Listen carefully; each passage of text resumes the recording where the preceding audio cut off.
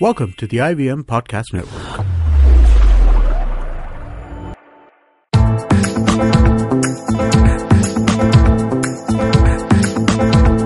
You're listening to the Paodcast, presented by the Daily Pao.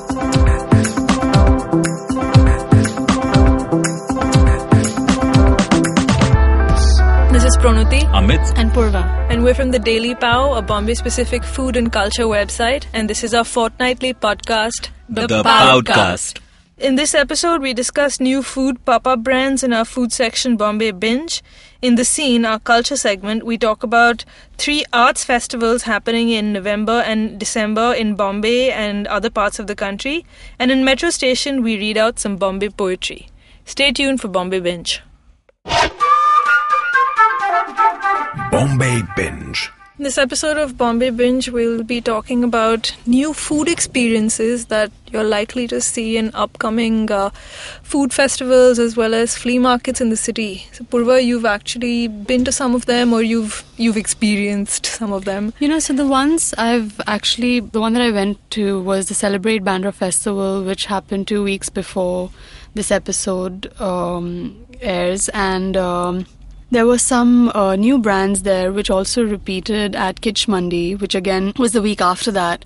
But the good news is that you can catch uh, some of these at the Little Flea, which is uh, the city's biggest sort of flea market, um, and they have a very sort of uh, uh, you know big food selection in addition to being a shopping festival primarily and um, uh, what's wh- why we're discussing this is because the, the Little Flea is actually um, a launchpad for uh, you know home chefs and new food brands who sort of test who use the Little Flea as the pilot. And uh, we've actually discussed this before where we were saying how uh, shopping brands also treat it in the same way and uh, Little Flea gives them the flexibility to experiment with um, different types of cuisines. Now, Little Flea is going to take place on the 9th to the 11th, and since that's the one that you can attend, that's the one we we will be talking about.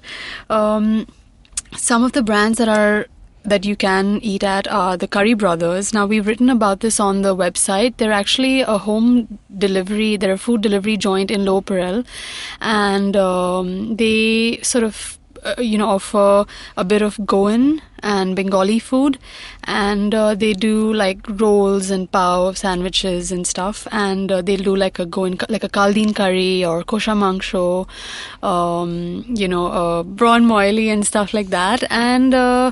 Um, so Curry Brothers actually was at the Celebrate Bandra Festival. That's the first pop up they've actually done, and they're going to be at the Little Flea as well. Do check them out. Uh, they do their curry bowls are particularly nice. There's also going to be um, something called the Baloch Kitchen. Now, uh, this is a new sort of a food experience that you can actually sign up for. It's a home dining experience by this lady called Priya Jham is her name, and uh, her family. Uh, so it's a, there's a Bhagnari community which are sort of become synonymous with Sindhis here, but they treat themselves as an independent community, and there's only it's a dwindling community. There's very few of them left. That's right. In fact, the first time I read about this community, I had no idea that we had a Bhagnari community in Bombay. Was in the Indian Express. Uh, They did a, a little profile of the community, and the Bhagnaris, they're Hindus. Uh, they're originally from Balochistan, and they eventually settled around Karachi. So a lot of them still have very strong links, at least nostalgic uh, feelings for Karachi, and um, a bunch of Bhagnaris. Um, say about 150 families, according to this report, settled in a place called Kataria Colony in Shivaji Park. Um, so there's a little Bhagnari community in the center of Bombay, and I'm not even sure how many people know about it. So it's interesting that they're doing a food pop-up because Yeah. Baloch cuisine is not something many people would have tried, and also Balochistan is so much in the news these days with, you know, Baloch leaders lobbying for you know Indian support for their independence and so on. So there's a lot of they've been in the Buzz news a lot. them, yeah. So what kind of dishes do they have? I mean, is it similar to Sindhi Well, cuisine? Yeah, is it- so there's like uh, it's a bit of Mughlai and Sindhi food. Uh, I'll read out a menu that she recently served Mm-hmm. um, in her home. Um, there's stuffed aloo tikki with poppy seeds, mutton chops, which is something you'd find in any Sindhi home, um, with bhagnari masala. Uh, then there's your um, uh, khatti dal with steamed rice. Uh, so that's lotus lotus stem cooked in a clay pot. There's a dry fruit pulao. She does a murg makhan wala, keema kaleji, uh, arbi tuk, and um, you know your typical uh, dahi vadas and all of that. So there is a, a lot of overlap uh, in the Sindhi Mughlai, your makhan wala, for example. So and that's also one thing. the lotus stem, right? The lotus stem. It's again we Sindhis cook it a lot. and took as well. Isn't that a Yep. Sindhi Tuk, yeah, specialty? that is a Yeah. specialty. Um, so there's the Baloch kitchen. Then uh, there's also. Uh, just to, to show you what kind of range there is at the festival, there's going to be Death by Barbecue, which is something we've spoken about before. Again, it's a takeaway joint in Bandra and uh, a delivery and takeaway joint where they'll be doing ribs, wings, you know, your American, uh, t- typical American barbecue. Um, another brand that we have covered is Organic Farmers Company. It's very interesting that they, they choose to be at this festival because essentially they they do packaged. they do snacks, packaged quinoa snacks, uh, but they're going to be serving the quinoa that they sell as um, cooked food um, at the festival. Uh, look out for that. Um, uh, there's another uh, Bohri food caterer called the Big Spread from Byculla, so you'll see a little bit more. Normally, the Bohri food has become synonymous with um, The Bohri kitchen. the Bohri Kitchen. So look out for the the big spread. There's a new brand that's uh, going to be launching um, at Kitsch Mandi, and they're going to be at. Um, the Little Flea as well. They're called Taco Bao, and uh, it's by the the Is folks. it uh, like that Mexi Chino, whatever that? Mexi yeah, Loco. so Mexi exactly. Loco, Uh, like Loco Chino, uh, Loco essentially. Chino. No, Loco but what they're doing is they're going to be offering tacos and baos. It's the same uh, folks that run the Little Food Company and uh, Little Food Daily, which is a uh, sort of a meal subscription service. And um, the, some of their fillings are going to be. Um, for example, in the tacos, you can get a lamb barbacoa with pickled onions and chipotle sour cream. You can get a fish taco with grilled pineapple and salsa. The baos are going to be a three mushroom bao with um, buttermilk fried chicken bao and a pulled pork bao. So that should be an interesting one. or you know, just quick, Yeah. bite-sized food. Uh, these sort of uh, flea markets and shopping bazaars are really kind of testing grounds for a lot of these caterers, aren't they? Because they graduate from being home cooks. They start out as home cooks. Yeah. They sort of take a stall at one of these things. yeah. Then they see how that goes, and some of them then actually set up large-scale catering outfits or their own places, right? I mean, there are a few places that have emerged from this scene. Uh, so one of them is Pack a Pav. Yeah, so, uh, uh, Pack a Pav actually essentially started as a pop-up brand Mm-hmm. only at a at a beer festival, and uh, once they sort of got into Little Flea, um, Yeah. the response was so overwhelming, and uh, they now have their own stall in Bandra. Yeah. So for a lot of them, in fact, they. Uh, like you said, they even turn into just delivery services, you know, because and even guys like the Bohri Kitchen who then sort of do collaborations with restaurants. Right. So- and you know, in fact, a lot of existing, it also works the other way. So there are brands like, say, Vibe Liquiteria, which we covered on the Mm-hmm. Yeah. website. It's a salad bar. It's like a smoothie and salad Yeah. bar. And they were really keen to get into the Little Flea, is what I heard. And now they'll be serving salads at the Little Flea, Okay. which is kind of you know, strange when you already strange. have exactly. your own setup to be you have your own to- setup yeah. plus you know i don't i don't really see it as a little flea kind of food but the the kind of crowds that they get are so compelling for yeah uh, they really it's i think the little flea has become like the weekender of uh, shopping bazaars And it's so crowded and that it's yeah. just not comfortable anymore in fact uh, woodside inn is another example of uh, they'll be serving their burgers yeah, at the flea but Woodside has always actually been like there was a time that you went for any music festival, you know, the one place that you'd Right. uh, see there would be Woodside Inn, and they've hmm. like even though they already had their own restaurant, they were one of the first people to actually Well, do this it, yeah. cat- catering. They have the burger shop, is mm. what they call, but I think this is the first time they're doing Yeah. the flea, so it also tells you the sort of scale the of. scale of how people want to get onto this thing because you know I think at the time when Woodside started doing this thing they want many others like them now there's so many people who just specialize in burgers and you know just Yeah. uh, you know are, are set up stalls In fact, there's somebody who's doing just veg sliders. Um, uh, they call the burger headquarter uh, at the Little Flea. Uh, it's a it's a great place for it's a great place for discoveries. Uh, there's Cafe Free India, which is a restaurant in Lower it is right opposite Deepak Cinema Yeah, which I have been to many times after watching a movie there In fact, I have never eaten there, and they're going to be doing crab dosas. Okay, So, I haven't seen crab dosas on the menu. They're more, they're more of a burger place.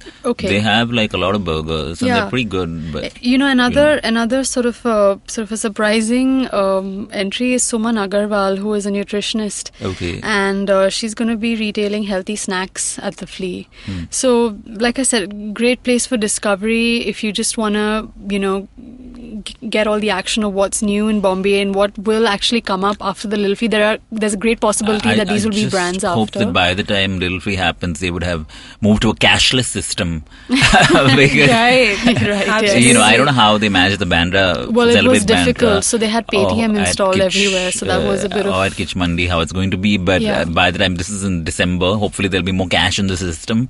But otherwise, yeah, just price everything at 100 or 500 rupees. Or 2000. or 2000 rupees actually. But This wait, is a large case no family offer. anything. 2000 well, you can't price it at 500. Can't price it, sorry. Right. 2000. So- Family pack, family offer. Get like 20 sliders. oh, something like that. Cool. So we'll be back with the scene. Long, long ago, not in Bethlehem, but in a place nearby, there was a wonderful birth of a huge show, which I like to call Cyrus Says. A show that encapsulates everything in human history, from the first Homo sapien to the last Homo sapien. Uh, who's traversed the entire world and then come back to India. This is a show which tells you everything about everything. If you want to know, avoid Google, come to us. It's called Cyrus Says. Get new episodes every Monday on the IVM Podcast app or wherever you get your podcasts on. You get one banana water free with every podcast. Right, I'll just check that. I'll just check that.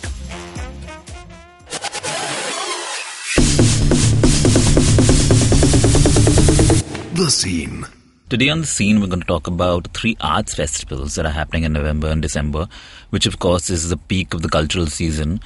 Um, now, Prawn, you have uh, done some research on all of these. There's a couple happening outside of Bombay, and one that's actually happening the day our podcast is out, which is Friday. November 25th. Yep. That's right. So this is a three-day festival and it's called Poets Translating Poets and it's the culmination of a project spearheaded by uh, the Goethe Institute also known as Max Muller Bhavan. So they got uh, 51 poets from across South Asia as well as poets from Germany uh, to come up with poems, and these were these poems were translated into various languages. Okay. So, for example, a German poem was translated into Mizo, and a Mizo poem was translated into Hindi, and so on and so forth. So, 51 poets uh, met over the course of uh, several months Okay. and, uh, you know, came up with various poetic works. So now this festival is a three-day affair. It starts on November 25th and ends on the 27th, and um, it's it's the first edition of this festival. Um, And so, did these guys, they actually created poems especially for this? yeah, so 51 of them participated in one week encounters across nine cities on the subcontinent. So they met in in Bombay, they met in Dhaka, Colombo, Delhi, Trivandrum, Karachi, Calcutta, Gangtok, Hyderabad, and you know they work together. Uh, but the festival itself, you know, it's open to everyone. It's free. So on the first day, you have quite an exciting event. It's called the Tea Party, Poetry in the Streets. So a bunch of poets are going to hop from tea stall to tea stall um, in Low Parel, Mahalakshmi, uh, near CST station, the Lal Street and Colaba Causeway, and uh, they're going to recite poetry. And Eh, so they all sound like really noisy places. I don't know how it's really going to work. well, I mean, this is a noisy city, so I guess you know poetry lovers can follow these poets around. Uh, you know, they'll be in a bus or some sort of vehicle, and it's like a hop on, hop off affair. So you Okay. follow them listen to some poetry at a chai stall, drink some chai, and go to the next uh, go to the next venue. Uh, the second day is dedicated to poetry of resistance and peace, and it celebrates uh, the Indian Constitution. So this will be a day of poetry readings, film screenings, and uh, and workshops. Um, but the, the people who are uh, participating, who will be talking, are names that you come across often in Bombay's cultural scene. So there's Ranjit Hoskote, of course, who's a very well known poet. And aside from uh, poet, he has several other uh, He calls himself a word artist. That is his official. uh, well, he's also sort a cultural theorist. descriptor because he does so many things. He's also an art catalog Curator. writer, curator. He is an art writer. He has uh, done many many things. Yeah. Then there's uh, Kaiwan Mehta, Mm-hmm. who teaches architecture but uh, is also a fixture in Bombay's culture Yeah, circuit. he's also written a couple of books, uh, Bombay history. Uh, books. Alice in Yeah. Bhuleshwar. Um, then there's Arunava Sinha, who is a, a Bengali translator. Mhm. And um, has translated a lot of Bengali poetry. There's Arundhati Subramaniam, um, who's also a fairly well known uh, poet. And it's going to wrap up uh, on Sunday. Uh, and the theme for that day is Poetry is Romance with Other Arts. But then they Such already have the concert, so it's what having a fling with music and then Yeah. having a romance with the rest. exactly. Exactly. So there will be performance presentations. I'm not sure exactly sure what that is.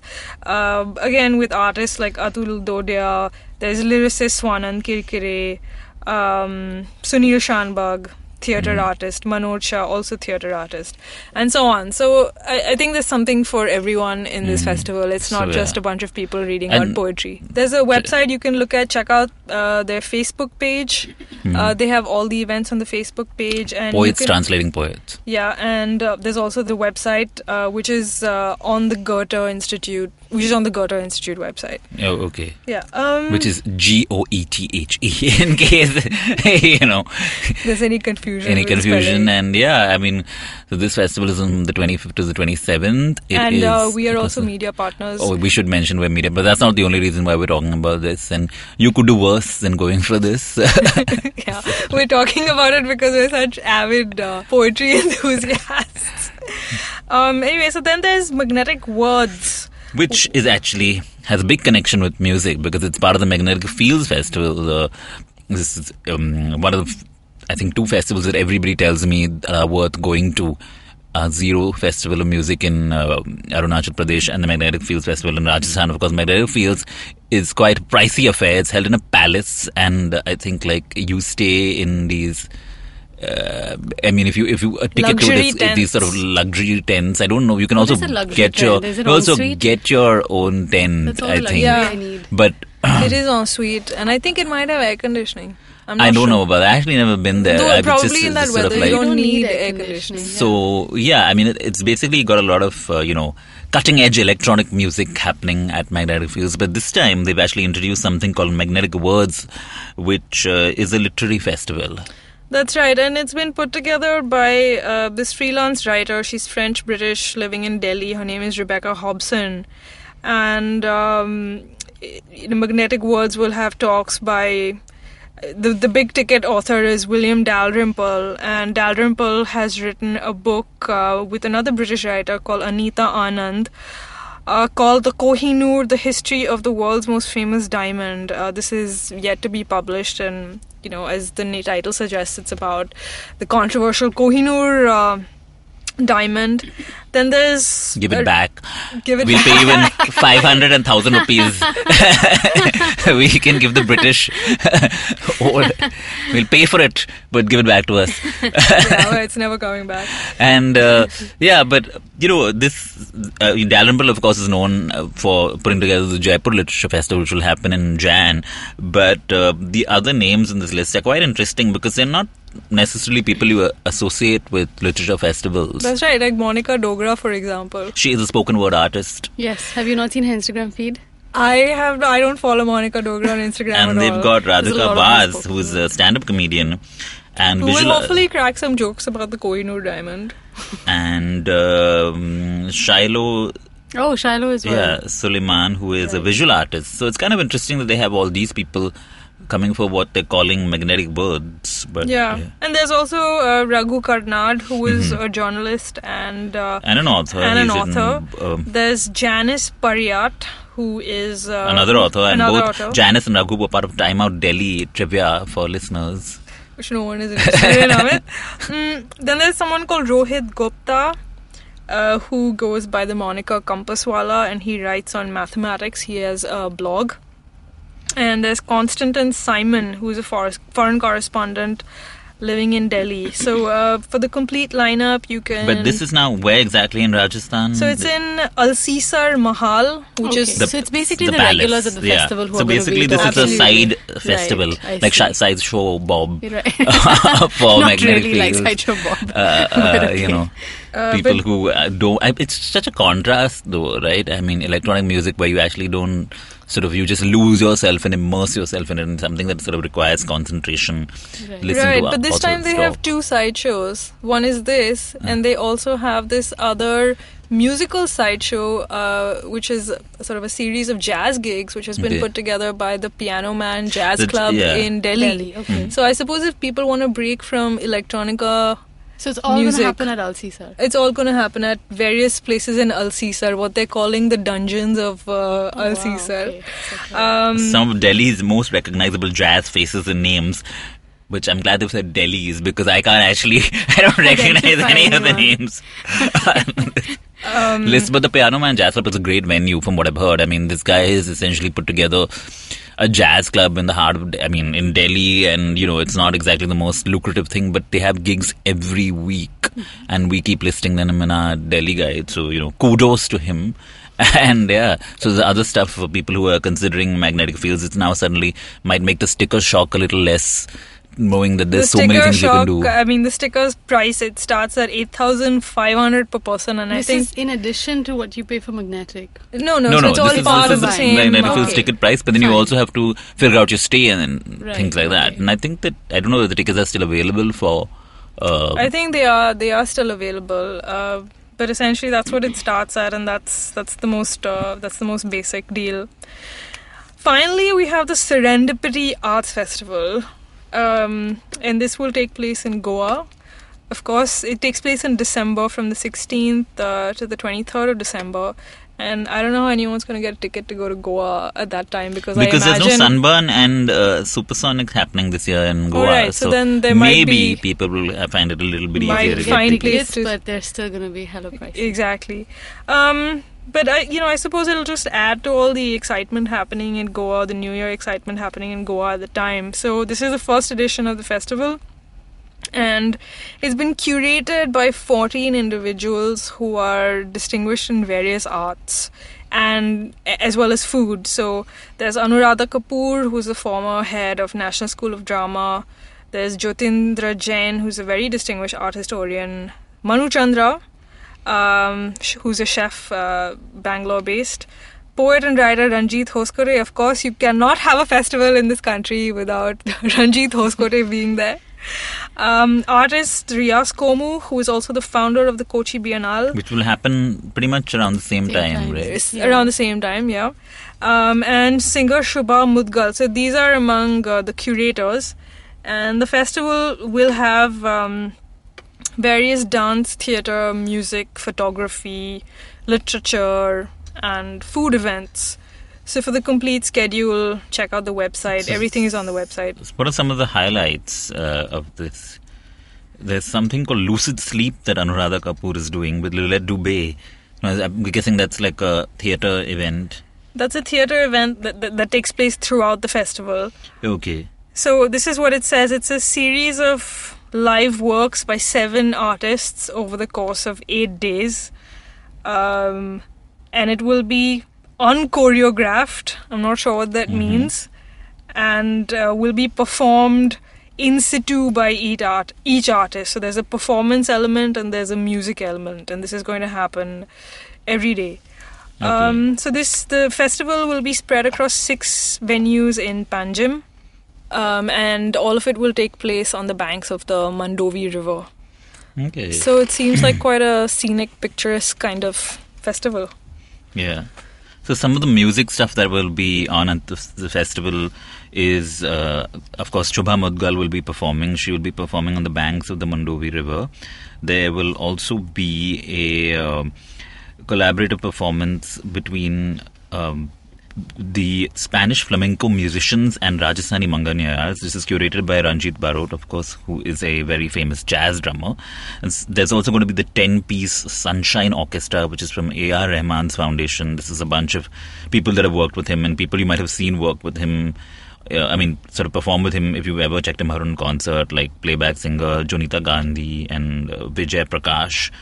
So there's a lot of music stuff apart from, of course, the um, you know the other stuff. There's also going to be a fashion show. Rohit Bal is going to be uh, putting together something called Living Traditions, and um, I'm guessing you know he will sort of stage the show while Shubha Mudgal is singing. I think they did this somewhere else at another fashion week recently. There'll also be uh, Wendell Rodricks will be tracing Goan history uh, in a show called 10 Histories Goan Costume. So, yeah, even fashion is a part of this, which is kind of interesting.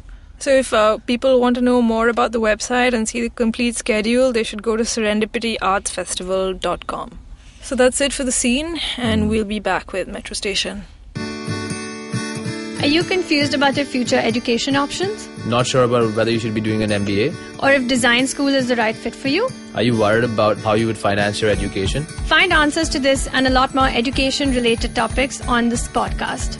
Hi, my name is Akhil Daswani. I'm the CEO and co-founder of OnCourse. Hi, my name is Alisha Mashruwala. I'm the CEO and co founder of OnCourse. And we both are your co-hosts for the OnCourse podcast. Tune in every Monday on the IVM podcast app or any other podcast app you may like.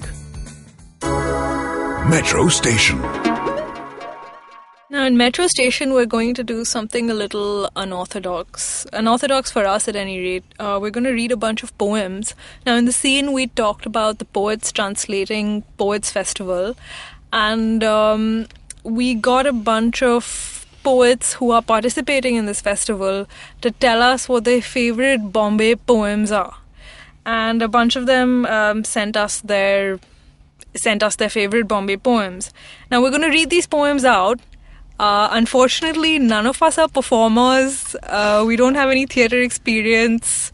Uh, so we might. that we're ever gonna And I think the last time I wrote, read a poem out was in class 8 or something. Yeah, like so that. we might just do Just a- many, many, many a really, really ago. terrible job of reading out these poems. But uh, for whatever it's worth, uh, here's a bunch of Bombay poems. Amit, why don't you start? So yeah, let's start from the worst.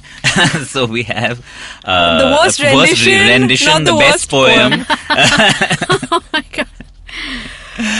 this, this is 546 Andheri Local by Arundhati Subramaniam, which I've actually read before, and it's theatre actor.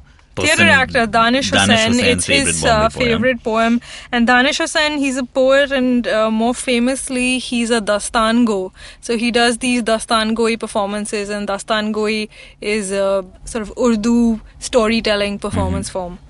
Cool. Okay, but due apologies to Arundhati Subramaniam. Here goes. In the windman's compartment of a Bombay local, we search for no personal epiphanies. Like metal licked by relentless acetylene, we are welded. Dreams, disasters, germs, destinies, flesh and organza, odors and ovaries. A thousand limbed, million tongued, multi spouse Kali on wheels. When I descend, I could choose to dice carrots or dice a lover. I postpone the latter. Bravo! okay. So yes, Quite sorry a- again, It's quite an intense poem, that one. Yeah, I mean it has the words odors and ovaries. So here you go. So the next poem is Sukumara Narayanan's favorite Bombay poem. And Purva's going to read it out. Yeah, it's uh, Arun Kolatkar's temperature normal, pulse, respiration, satisfactory. I lean back in the armchair and Bombay sinks. The level of the balcony parapet rises and the city is submerged. The terraces, the chimneys, the water tanks, the antennas, everything, the whole city gone under. I look at what remains. My eyes take up the slack of the twilight sky. I count a crow and three sparrows, each flying according to its light. I stretch my legs, I put up my feet on the parapet. I hear a cheeping sound. I see a sparrow. Is there a connection? I'm afraid I do not know. This cross I make of my own two feet floats on the fast horizon. Okay, that wasn't so bad. So I'm going to read out uh, Ranjit Hoskote's favorite Bombay poem, and it's The View from Chinchpokli. This is the third mention of Ranjit Hoskote on the show. So The View from Chinchpokli by Dilip Chitre. It's, sl- it's slightly long. A foul sun rises from behind the textile mills as I crawl out of my nightmares and hobble to the sink. Then I luxuriate in the toilet while my unprivileged compatriots of Parel Road, Cross Lane defecate along the stone wall of Byculla Goods Depot. I shudder at the thought of going out of this lane towards the main road. Hundreds of workers are already returning from the night shift, crossing the railway lines. The bus stop is already crowded. I begin to read the morning's papers and cover my naked mind with global events. The ceiling fan whirs, but I sweat. I breathe in the sulfur dioxide emitted by the Bombay Gas Company, blended with specks of cotton and carbon particles discharged by the mills that clothe millions of loins. Then I shave and shower, dismissing all untouchables from my mind, fearing more palpable pollution. On my way out, I shall throw a used condom and a crumpled pack of cigarettes into the garbage. And like a glorious Hindu hero, reluctantly riding his chariot to the center of the battlefield, I will take a cab to the Manhattan like unreality of Nariman Point. There I will shape India's destiny using my immaculate gift. I will ride in a taxi. I will pass the Victoria Gardens Zoo without blinking. Byculla Bridge will give me the first line of a poem and the Christians, Jews, and Muslims on my way will inspire a brilliant critique of contemporary Indian culture. Of course, I will ignore the junk shops, the tea houses, the restaurants, the markets I zigzag through.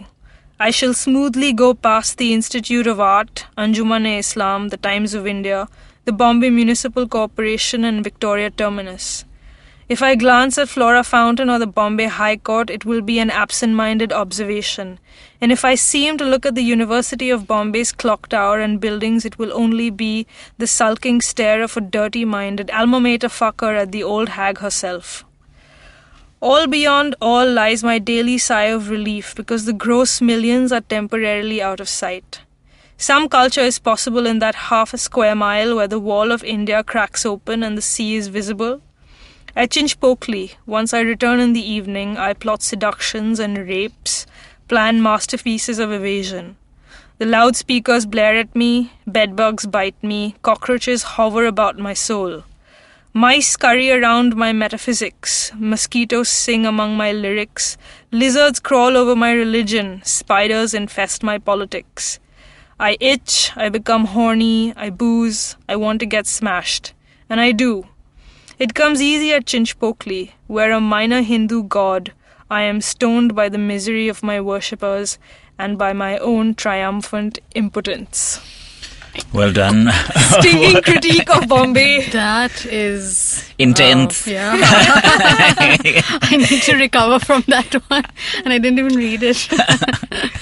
So yeah, so that was it from Metro Station, and um, you know we'll be back next week with Pow Bites. In the meantime, you can remember to follow us on Twitter, Instagram, Facebook, where the Daily Pao. And you can, You also sign up to our newsletter on the website and get our recommendations of things to do on the weekend. And also remember to sign up for notifications on Saavn. See you next time.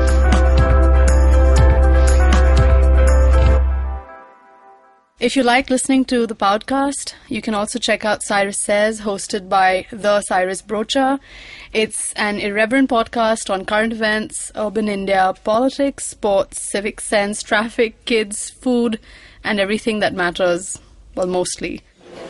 Excuse me भैया. Excuse मी बोलिए madam. Menu में क्या है? Menu में seen unseen है podcast है on course है Cyrus है made in India rediscovery project empowering series sex wax है आईवीएम लाइक्स है सिंप्लीफाइड है कीपिंग इट क्लियर है टिंग्स एंड डेस्टिनेशन है माय नेबर सकरबर्ग है और द फ़ैन गराज है. आपको क्या चाहिए? एक बार रिपीट कर देंगे क्या? रिपीट रिपीट नहीं करता हम. आप जाओ आई पॉडकास्ट डॉट कॉम पे और सुनो ये सब. या फिर डाउनलोड करो उनका ऐप सब आपकी उंगलियों पे.